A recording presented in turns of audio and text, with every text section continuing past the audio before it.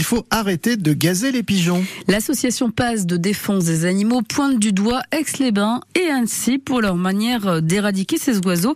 Elle affirme avoir enquêté pendant un an et passé à la loupe des méthodes utilisées dans 40, 141 communes. Facture à l'appui, l'association reproche à la ville d'Annecy d'avoir capturé et gazé des pigeons.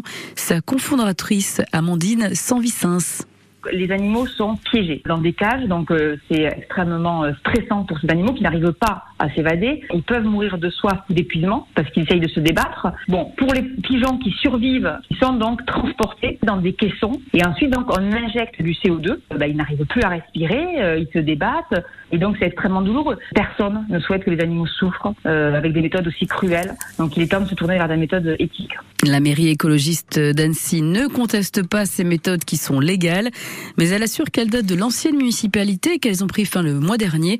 Karine Buxan Piqueda est adjointe au maire en charge de la santé et du bien vivre on était contraint déjà par un, marché public qui se terminait fin 2022. C'est un sujet qui est très compliqué parce qu'on a d'un côté les habitants qui se plaignent des pigeons et de l'autre côté euh, les associations qui euh, militent pour que on arrête d'euthanasier les pigeons. Ben, nous élus, on, s'est dit qu'on allait euh, arrêter justement cette année la capture et l'euthanasie pour observer ce qui se passe pendant un, deux, trois ans.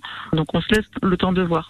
Et Annecy réfléchit euh, donc à des méthodes plus éthiques. À Aix-les-Bains, on compte installer deux pigeonniers contraceptifs, un cette année et un autre l'an prochain.